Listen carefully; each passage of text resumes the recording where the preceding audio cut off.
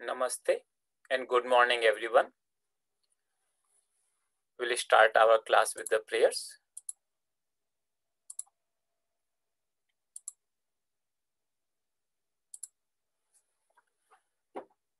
Om Gurur Brahma Gurur Vishnu Gurur Devo Maheshwaraha गुरुः साक्षात् परब्रह्म।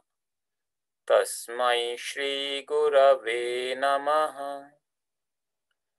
ॐ सहनाववतु सहनौ भुनक्तु सह वीर्यं कर्वावहै। तेजस्विनावधीतमस्तु। मिद्विषावहई ओम शांति शांति शांति now we'll chant Mahamrityunjaya mantra three times to pray for those who are in suffering ओम त्रयंबक यजामहे सुगंधिम पुष्टिवर्धनम। उर्वारुकम् इव बन्धना। मृत्योर्मुक्षीयमामृतात् ॐ त्र्यम्बकं यजामहे। सुगन्धिं पुष्टिवर्धनम्। उर्वारुकम् इव बन्धना। मृत्योर्मुक्षीयमामृतात् ॐ त्र्यम्बकं यजामहे। सुगन्धिं पुष्टिवर्धनम् उर्वारुकम् इव बन्धना मृत्योर्मुक्षीयमामृतात्। ॐ शान्तिः शान्तिः शान्तिः।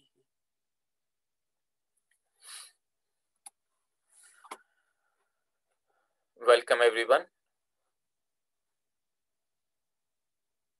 Today is the last class of this course, the in-depth study of a scripture and we chose Bhagavad Gita second chapter.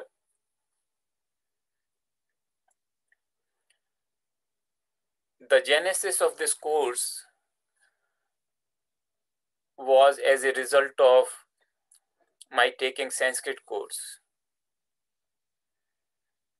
So I first taught Sanskrit 01 for beginners earlier this year in April. And uh, there was a request for continuing the Sanskrit course. So then I thought, let me take it in this manner that one part would be purely focused on grammar, and another part would be how to use the Sanskrit to understand the scripture. So we took Bhagavad Gita as an example of applying those principles of Sanskrit grammar to understand the scriptures.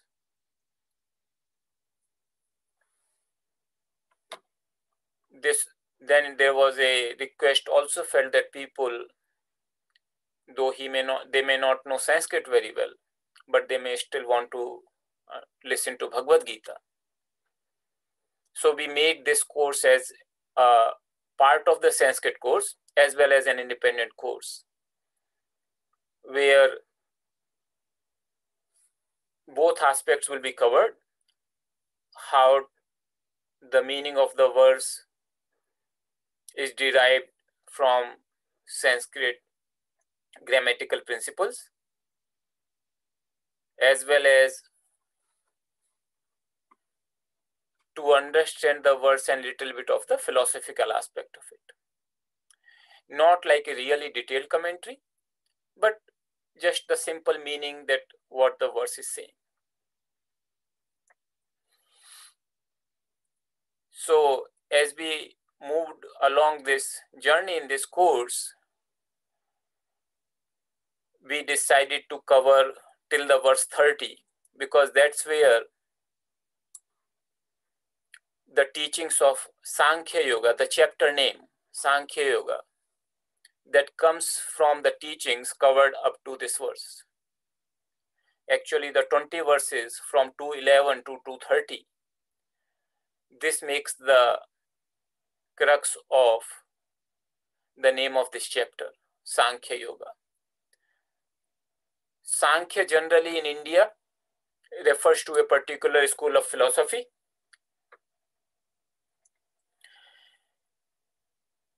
But here, when in Bhagavad Gita it is called Sankhya Yoga, the second chapter, it is called Sankhya Yoga. I'll just write the name Sankhya Yoga.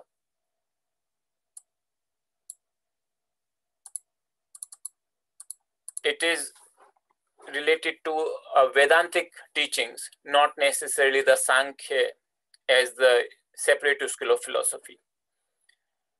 The word here Sankhya refers to Samyak Akhyayate iti Sankhya, the something by which you explain something very well, completely or clearly. That is Sankhya. And it in general relates to the Jnana Yoga. So generally these are equivalent terms, Sankhya Yoga and Jnana Yoga. And uh, that's where the second chapter or the teachings of Gita start from verse 211 and they go up to verse number 230. So that's why that's where we decided that we'll cover this much and we'll stop there in, as a part of this course. Second chapter itself has 72 verses and if there is interest then we can take the second part of the second chapter covering the remaining 42 verses which covers primarily the karma yoga a very important topic and also the characteristics of a realized person in addition to some other aspects that how if a person also follows his dharma can be free from sorrow so in today's class because we have already covered these 30 verses in detail along with the grammatical analysis. So we were using this spreadsheet format we were, where we were analyzing each and every word, its grammatical structure, and coming up with the meaning. So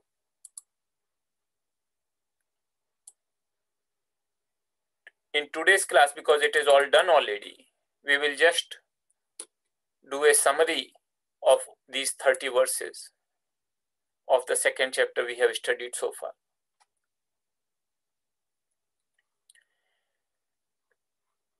If there are any questions, you please, please feel free to write it in the chat window. We can have it as an interactive session.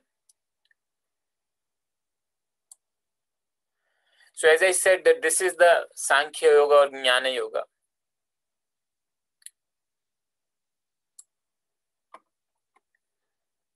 Which that's the start of the teaching of Bhagavad Gita.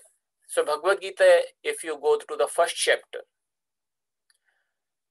Bhagavad Gita starts in the setting of the war. So this clan of Bharata there was a great king called Bharata in India. In fact, the name of India, the name is actually Bharata. It has come from the same king. It is believed that the name of Bharata, the land, name of the land became Bharata because of this great king happened named Bharata. So in his clan, at some point of time, people generally believe about 5,000 years ago, these two sets of cousin were there, named Kauravas and Pandavas.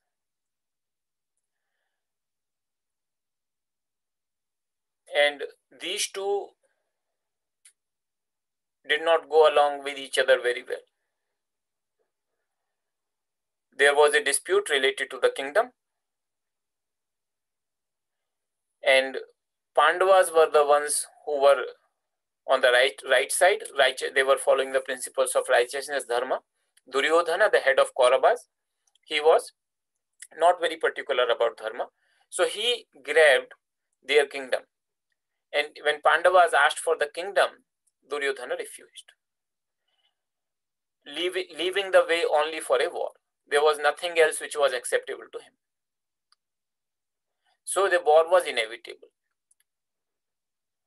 And because this war was so comprehensive that almost every king of India at that time participated in it.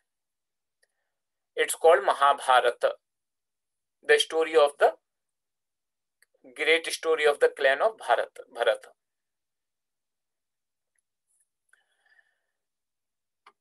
And in this war, on the Pandava side, there are five, five brothers. The middle brother Arjuna, he is the foremost warrior. He is the world renowned archer and he has all enthusiasm going into this war because he wants to uphold dharma, the righteousness. He has agreed to be as a part of his duty to participate in this war. And he also requested his friend Lord Krishna to be his companion. So Lord Krishna put a condition that I can join you in the war, but I will not hold the weapons. I will only I can support you in the any other fashion except directly fighting. Is it acceptable to you? And Arjuna said, That's very well acceptable. You become my charioteer. And Lord Krishna accepted that rule. So Lord Krishna is the charioteer, Arjuna is the warrior on the chariot, and they both are in the battlefield. So when the war is about to begin, and that's the first chapter of Gita, Arjuna requests Lord Krishna that I want to see who all I have to fight what you do, you take my chariot and place it between both the armies so that I can see both the sides. And I can decide on my strategy. And Lord Krishna said, Yes, sir. And he placed the chariot between both the armies. The one thing which Lord Krishna did while placing the chariot in the middle of both the armies, that he placed the chariot where Bhishma and Drona are standing. Now, these two people, Bhishma and Drona, they were they had been Arjuna's teachers. In when Arjuna was younger, Drona was the main person, his guru, who taught him the art of war. And Bhishma was the great grandfather by relationship, but also he taught these people. And Arjuna had tremendous love and devotion for them. And these people also loved Arjuna like anything. Yet, the fate was such that they were in opposite camps in the battlefield. And this war was being fought to finish. So when Arjuna's, Lord Krishna placed Arjuna's chariot in the middle of both the armies. And Arjuna started looking around and he sees Bhishma, he sees Drona, he sees many other people who are relatives, his cousins, his uncles, and all the other relatives. A tremendous realization dawned upon him that this war, which I'm going to fight, people who will be killed, whether they are from this side, my side, or the other side, they are the people very near and dear to me. And as a result, no matter who wins, it will be a loss. And more he thinks about it, more he is overcome by sorrow, by his attachment and attachment resulting to sorrow. And he started talking to Lord Krishna look, for some reason we have decided upon this course of action, but it was not right. You see that people whom I love, they are the ones who are standing here and they will die. And not only those people, and he started even quoting the scriptures that when all these people will die, there will be nobody who will be offering them the. There is a ceremony in India among Hindus, Shraddha. So you basically offer something to the ancestors to pacify them. There will be nobody left to do that. So they will fall into the lower worlds. And on and on he went. And even to the extent that he said, it's better that I do not find if Duryodhana on the other side, they want to fight, they can kill me, even if I am without any weapons or without any mood to fight, and it's better instead of me fighting and killing these people. And more and more he went into this thought process, more and more he felt depressed. And finally, to him, it seemed that the only way out is to not fight this war, to run away. And he became so weak that he started crying. Arjuna, who was the symbol of courage, who was the symbol of never feeling any fear, no matter what the circumstances. He was so strong, he started feeling very weak. He could not even have the strength to hold his bow and arrow, he drops them. And he just sits down very dejected in the middle of the chariot.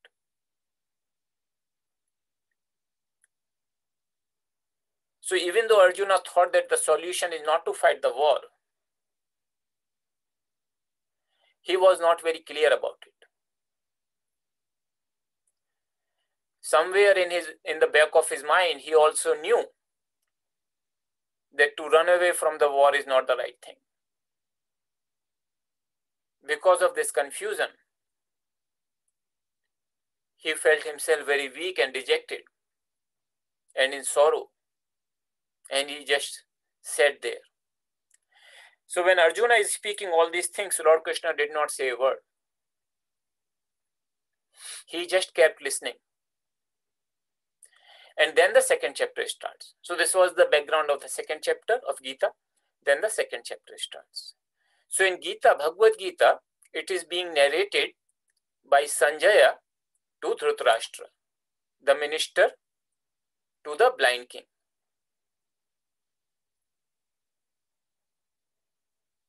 And so that's where the first verse starts of the Bhagavad Gita. That Sanjaya Uvacha. Sanjaya said. He spoke to Arjuna, who was overwhelmed with pity, whose eyes were filled with tears and he was agitated. To that Arjuna, Lord spoke. Lord Krishna spoke. So in the next two verses, 2 2 and 2 3, what Lord does, it's not really teaching, it's more like scolding Arjuna. That how has this infatuation overtaken you at this odd hour? This delusion.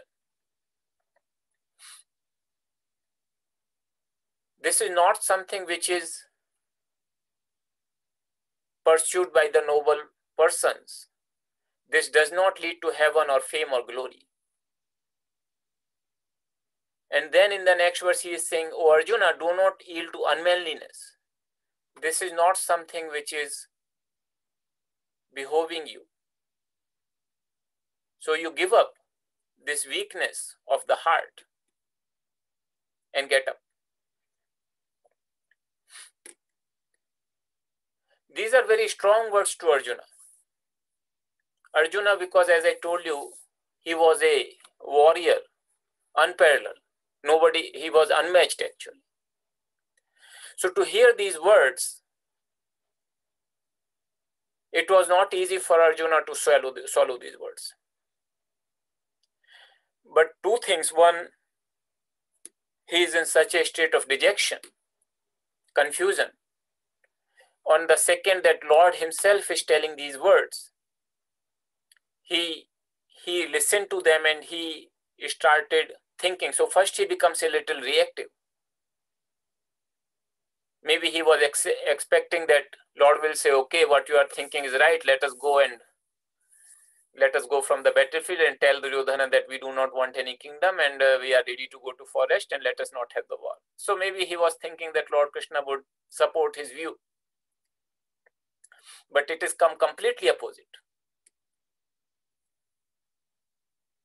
Not only Lord Krishna did not dis- disagreed with him, he not only disagreed with him, but also chastised him pretty in pretty strong words.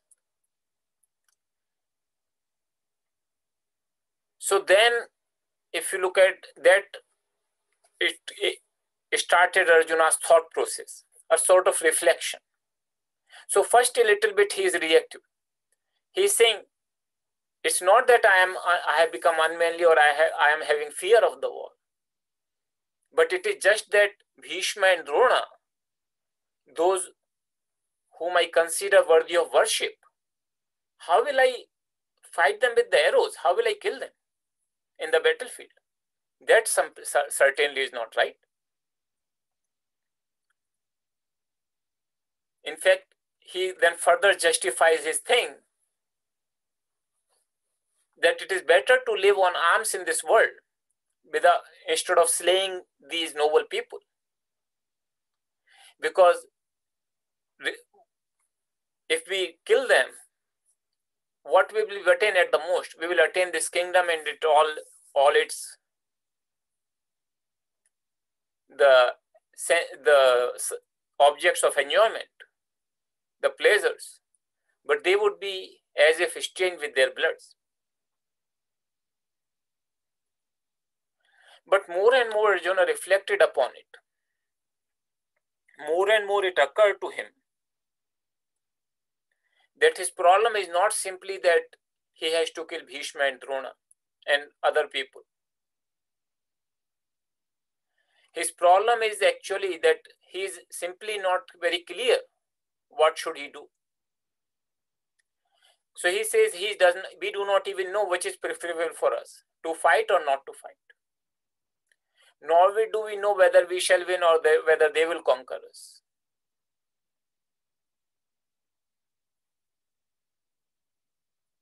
The people whom we after killing them, we ourselves would not like to be living, they are in front of us in the battlefield. So, this situation, see, if Arjuna were very clear that all he wants to do is decided that war is not good, this is the solution of the problem, become a monk, live a life of arms, then he would have just told Lord Krishna that this is what I have decided and this is it. You take the chariot back. But that's not what he did because he is not sure what is the right course of action. So once he understands this confusion arising in him that is creating the problem, he also understands that he is not able to solve this problem just by thinking just by analyzing this problem is not going to be resolved. Because this problem is much deeper than simply the current circumstance. It's not the, even though the emotions are evoked because of particular circumstances, the problem is bigger than that. So he understood that in order to be free from this sorrow, this situation, he has to address that fundamental source of confusion and sorrow. And that is the ignorance. And he needs the knowledge, the highest good, That is called Shreyas in Sanskrit. So then in the next verses, he actually accepts that I am really overcome by this faint heartedness. The word he uses, karpanya dosha. Karpanya refers to the sense of miserliness. So I have been given this intellect and the human life. And I have not been able to utilize it properly. As a result, I'm in great confusion. So my whole being is puzzled because of that. And I have no clarity about what is my dharma. Dharma sammudha cheta. Regarding my dharma, I have no clarity. What is the right thing to do? So I become your disciple, Lord is Lord, he tells Lord Krishna. And tell me clearly and certainly that what is the right thing, what is Shreyas, what is decidedly good, not just in the sense of for this particular circumstance, whether to fight or not to fight, because that part Lord already told him that he get up and fight, get up, get up and fight. So he's not asking clearly only about this particular situation that tell me what is clearly good for me, decidedly good. He's looking for something which is the ultimate good for him. And that is their a technical word shreya, shreyas, that is used for that purpose even in Upanishads. So, and Arjuna also knew that in order to attain this knowledge, he has to accept the discipleship. So he took the discipleship of Lord Krishna and saying, Shishyasteham Shadhimam Tam Prapanna. I'm your disciple, please teach me. That is considered a very important verse in second chapter because that opens the door for the real teachings to start. Until unless there is a guru-disciple relationship in Vedantic literature, in Vedantic philosophy, the teachings truly cannot take place. In other words, you cannot arrive at these teachings just by observing the world and analyzing by yourself. That will not happen. You will not be able to find that I, I can, just by my analysis, I would be free from confusion and sorrow forever. that will not happen. So Arjuna understood that. That means you have to approach a person who has achieved that state and who can help you. And that person is Guru, and you basically become the disciple to learn from that person. So Arjuna was, of course, very lucky here that he had Lord Krishna right in front and he was also ready. And then in the next verse, if you look at this part that Arjuna understands that it's not just about this kingdom, it's not about this war. He's saying that even if I attain this whole earth, the kingdom of the whole earth, without any enemies, and it's very prosperous, and also if I attain the kingdom of not only the earth, but also of the heavens, I do not see a way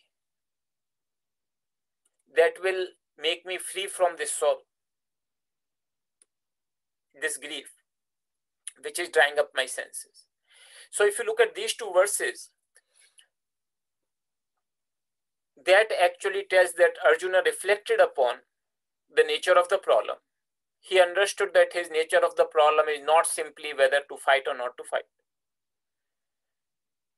He understood that his problem is arising simply because of this fundamental problem that he does not understand he does not have the knowledge of how to be free from this basic confusion and sorrow. And he surrenders to Lord Krishna as disciple.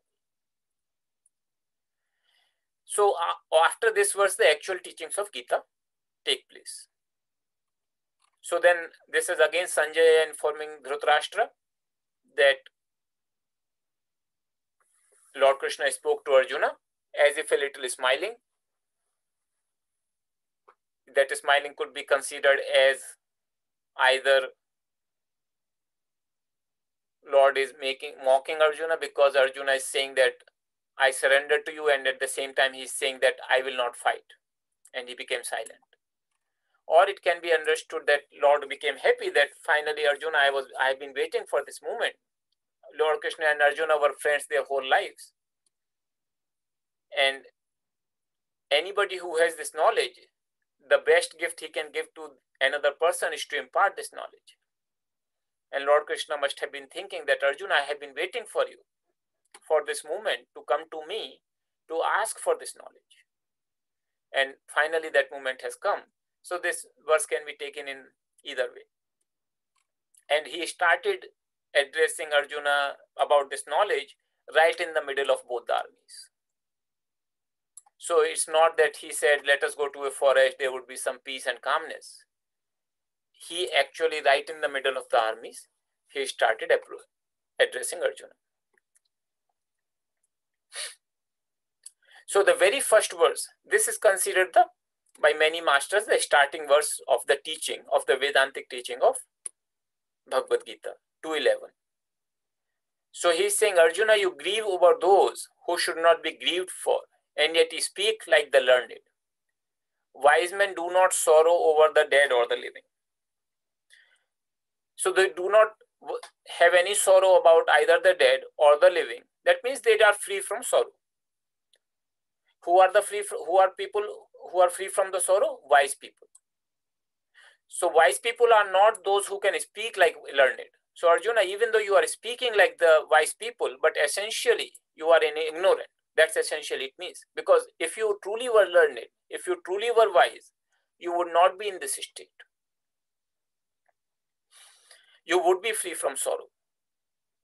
Another way to understand this verse is that it is the knowledge which, will free, which frees you from sorrow. And ignorance is the cause of the sorrow.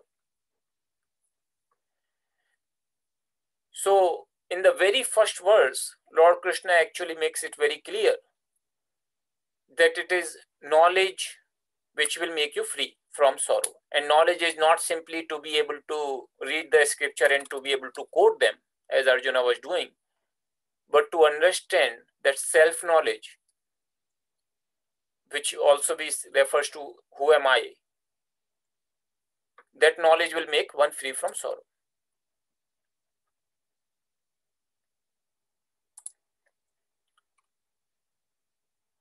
So, then Lord Krishna goes about describing.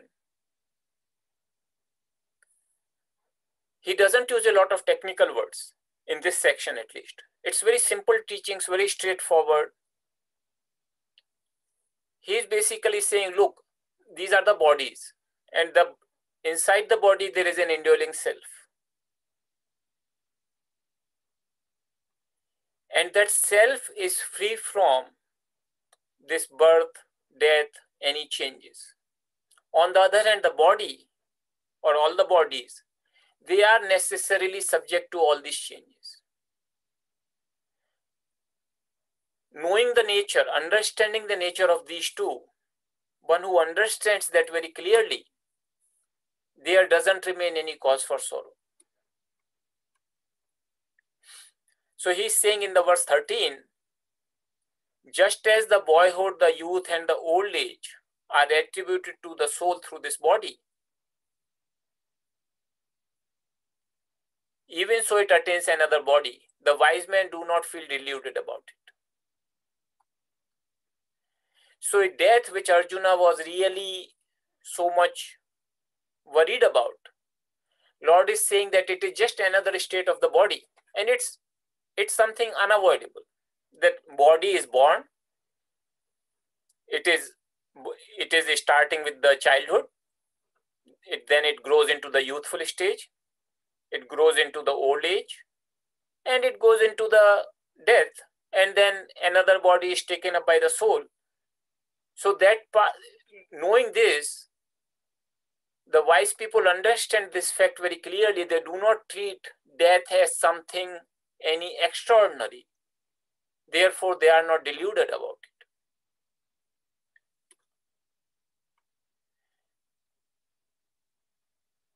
And he's saying that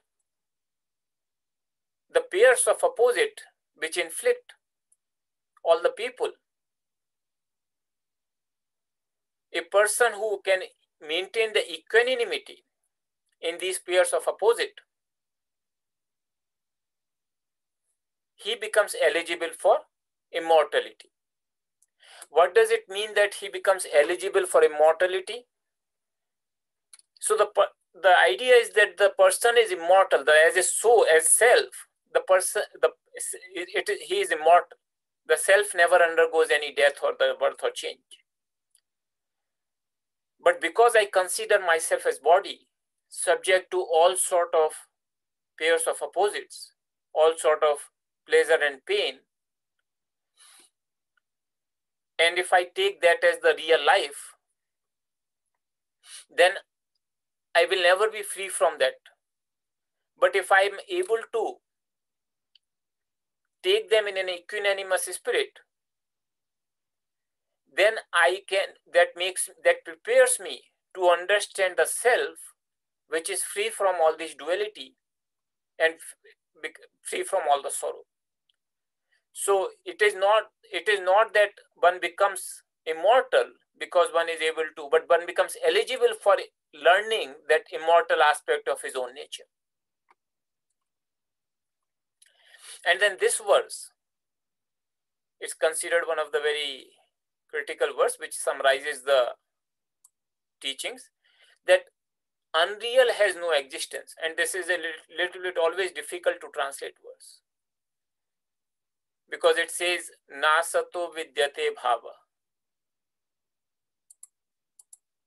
the, the unreal has no existence. And the real never ceases to be.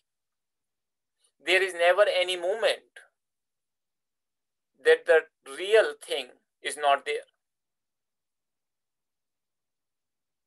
So something which is Sat, Sat is referred to as real here, that is always there. And something which is Asat, it never has a real existence. That means it never has any independent existence. Its existence depends upon the Sat, just like the wood and table. Table cannot have an independent, independent existence separate from the wood. In that sense, the world, the whole world, all the bodies, they cannot have any independent existence separate from the Sat. The Sat itself is the name of existence. And he's saying that this thing, this principle which I am telling you, it is not just my principle, but all the seers of the truth, they have clearly perceived this thing. And that's what I'm telling. Then further again, he is uh, further and further explaining to Arjuna that how the self is imperishable and nobody has the power to destroy this. Just like the table has no power to destroy the wood. Similarly, there is nothing which can destroy the self because all other things have the existence dependent upon the self.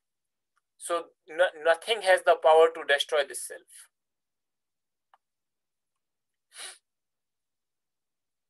And then if you look at this verse number 18, that antavanta eme dehaha nityasyoktaha sharirina. These bodies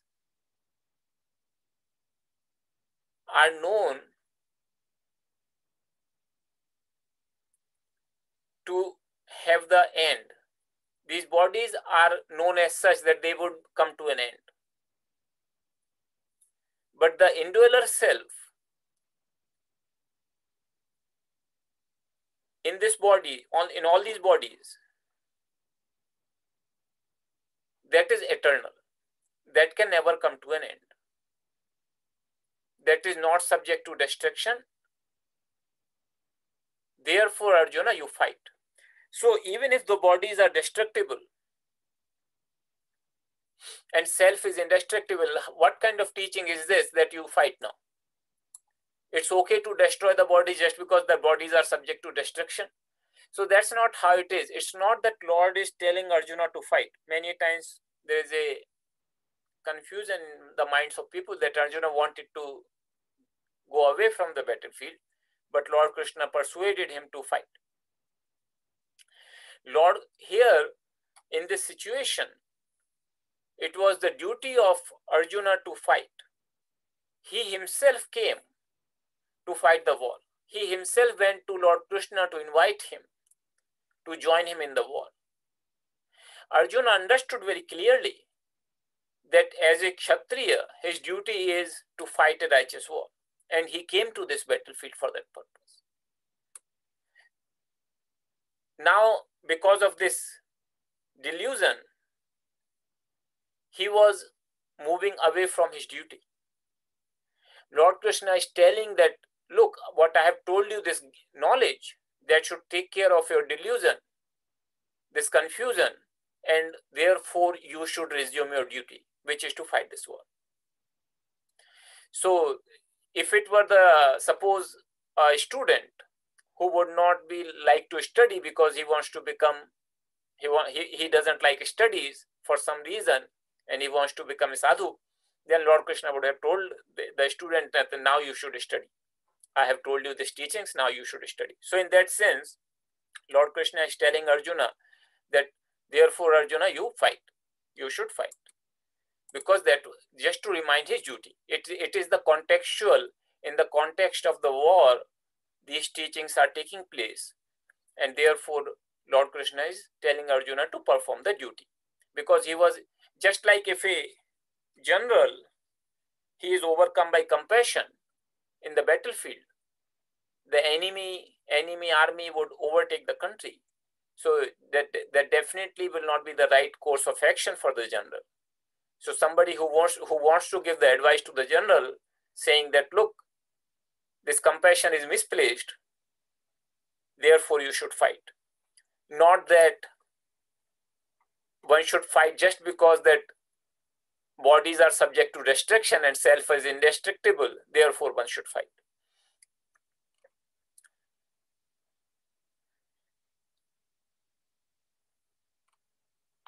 So here in this verse number 20 he is saying soul is never born nor it ever dies nor does it become only after being born. For it is unborn, eternal, everlasting, primeval, and even though the body is slain, the soul is not. So there is a very juxtaposition with the body. Body is subject to birth, self is not. Body is subject to death, self is not. Body is subject to sometimes coming into the being and then also being there for some time and then subject to destruction, the self is not. And also the body finally is dead, uh, meets its death. Again, meet, having the death of the body does not affect the self at all. So this, this verse in India is very popular. Vasansi jirnani yatha vihaya. Many people chant this verse number 22, 23 at the time of death of a person that he's giving his example here just a man. He's shedding the shedding the worn out garments. Take the new ones. Likewise the self casting off the worn out bodies enters into the others that are new. And this self weapons cannot cut it. Fire cannot burn it. Water cannot wet it. And the wind cannot dry it so it's not that the weapons which we have that cannot cut it. Maybe some new weapons can be invented afterwards. They might be able to cut the self. So just to avoid that possibility and also that they cannot cut it in the physical sense, but sometimes people can or they, the fire cannot burn it, but sometimes can people can feel that they are burning out of anger can that affect the self? So even that cannot affect the self. For he is saying that the self is incapable of being cut, incapable of being burnt. Here, the by fire is actually not the correct translation. It's incapable of not being, it's incapable of being burnt. That's what it means. Adaya. This is incapable of being burnt. So this I just took the translation from one book, so that's why when you understand from the Sanskrit perspective, you can understand that where the translation is differing, and that was one of the purpose of this course, that we can understand and have the proper understanding of the verse using the Sanskrit grammatical analysis. So he's saying that that is the nature of the self, that it is eternal, omnipresent, immovable, constant, and everlasting. And then Lord Krishna tells Arjuna that knowing this, you should not grieve. It seems that it was very clear to Lord Krishna that Arjuna does, did not get that message. Like he is still grieving. And because he is still grieving, he tells Arjuna okay, even if you don't understand this thing, what I told you, but you consider that self as ever subject to the birth and death, even then, there is no room for sorrow. Why there is no room for sorrow? Because he is saying that anybody which is born is subject to death, and after the death, the rebirth is inevitable. Therefore, in this matter, which is unavoidable, there is no room for sorrow because we have the room for sorrow in which something we can do something. If we cannot do something, and this thing is inevitable, whatever it may be, and I am being sorrow, then there could be that there can be no solution to that problem. So, in that case, sorrow is simply a matter of not being able to understand the truth properly. He is saying that before this all the beings which you are grieving about, like Drona and Bhishma, all the beings, they are unmanifest in the beginning, manifest in the middle, and again unmanifest in the end. So, what is there to sorrow about? It is like an arrow which is coming from the dark. Then it is passing through the passage where there is a light, and you see the arrow at that time. And again, it is arrow is moving it is bound to go into darkness again. So only for that middle portion you are able to see that arrow, just like the bodies. So you are seeing that manifestation in the form of the bodies. It's not that there was nothing before or nothing after. It is just that you see the manifestation in between. So despite trying to explain Arjuna in all these fashion, Arjuna still has this grief. He still is finding it difficult to understand these teachings. So Lord is saying, look, it is not something that you are dumb that you are not able to understand. This thing is such that it's a huge wonder for anybody who is able to see that. It's a wonder. A person who is able to speak about that, that's also marvelous. That's a wonder people hear it like as a wonder. And also it happens it's it happens that many people even after hearing do not understand this. And then he is concluding the teachings of this section that dehi nityam abadhyoyam the self is ever imperishable cannot be killed in this body, on all the bodies. So one self in all the bodies. That means bodies are subject to the destruction, but self is never. So knowing this about all the beings, you have no room for sorrow. You should not mourn for anyone.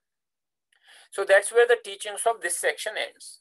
And because Arjuna doesn't understand these teachings, that means it doesn't become internalized for him, the sorrow is still a reality for him confusion is still a reality for him lord krishna explains to the same teachings from different perspective till arjuna understands and that's what the whole gita is about so the second chapter the remaining verses Lord Krishna says that, okay, I told you this wisdom from the perspective of Jnana Yoga, Sankhya Yoga. Now I'll tell you from the perspective of Karma Yoga. So he explains the Karma Yoga. So, and then when Arjuna asks, asks the characteristics of a realized person, then Lord Krishna explains the characteristics of a realized person. So this way, this chapter has the, uh, it is considered the summary of whole Bhagavad Gita because it, consider, it con consists of all the essential teachings. So with this, if there are any questions, I would like to invite any questions. So please, please feel free to send in the chat window. And uh, as you might have seen, there is a message from uh, Nivama, Happy Dashara to all. So today is actually indeed uh, mm, a very, we are in the sacred days of nine days of Divine Mother, which culminates into the 10th day. Uh, that 10th day, depending upon in India or USA, I think here it is tomorrow in USA uh, and in India it is Monday, this the Dashera. So uh, these are the very auspicious days, nine days of Divine Mother.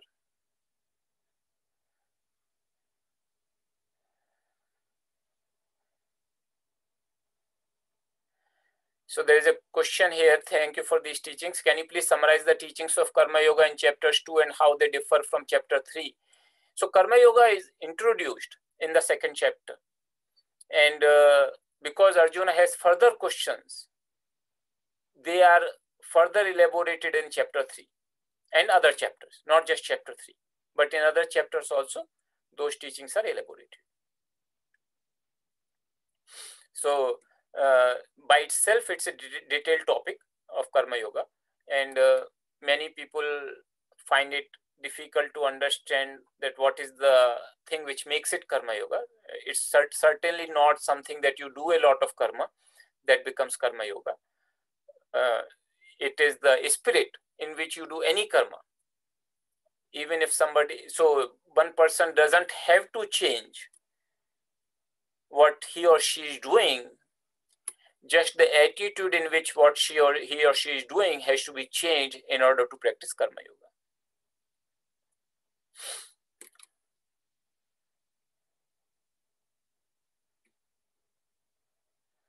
so thank you everybody. I see messages from many of you. And uh, i'm really happy. And as a as we are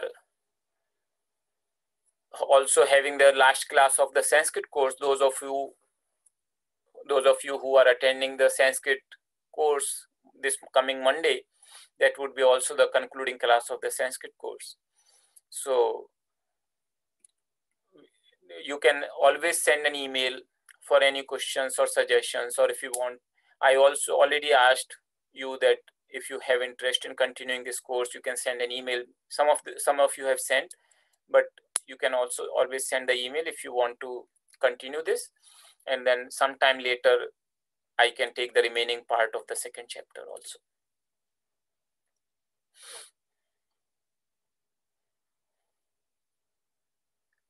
And if there is also a request for any other scripture which you might be interested in we can take another scripture also like ramayanam or something like that. So I would definitely like the feedback from all of you to understand that what all would would be something that you would like, you would really enjoy. Gita is nature, a very natural choice because all of us are interested in Gita. But there are many other scriptures which we can take up and uh, discuss them together. So please send those things with the, on the email because that way we can have in the email uh, uh, whatever your suggestions, questions, feedback.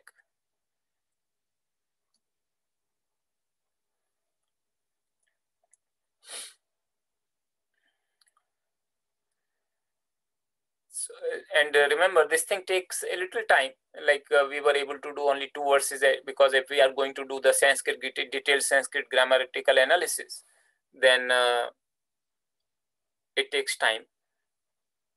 And we were able to do this two verses per day. So if we start this course for the remaining verses of second chapter, there are 42 verses. So roughly it will take 20, 21 classes.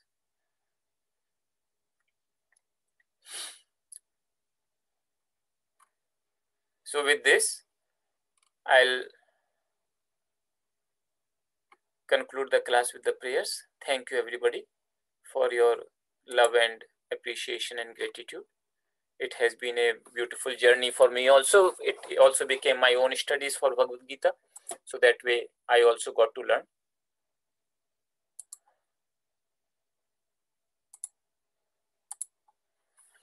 And with this, we'll close the class with the prayers.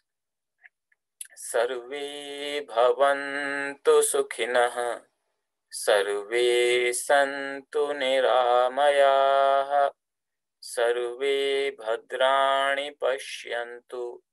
मा कश्चित् दुःखभाग् भवेत् ॐ पूर्णमदः पूर्णमिदं पूर्णात् पूर्णमुदच्यते। पूर्णस्य पूर्णमादाय। पूर्णमेवावशिष्यते। ॐ शान्तिः शान्तिः शान्तिः। Thank you, everyone.